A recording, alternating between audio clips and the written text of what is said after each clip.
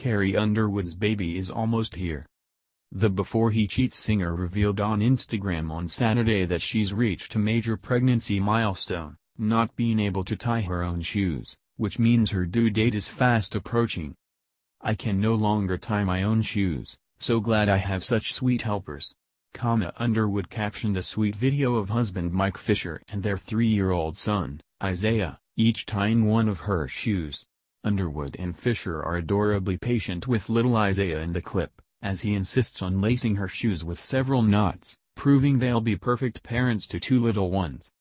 Underwood announced her pregnancy in August, and while co-hosting the 2018 CMA Awards with Brad Paisley in November, she revealed she's having another boy.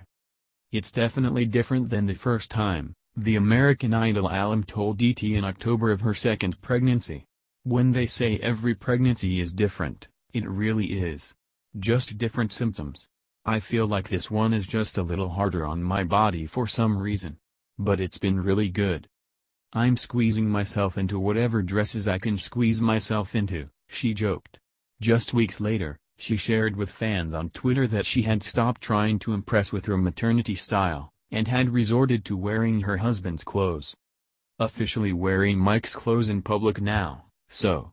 Hashtag pregnant hashtag my clothes don't fit hashtag sorry babe, she said.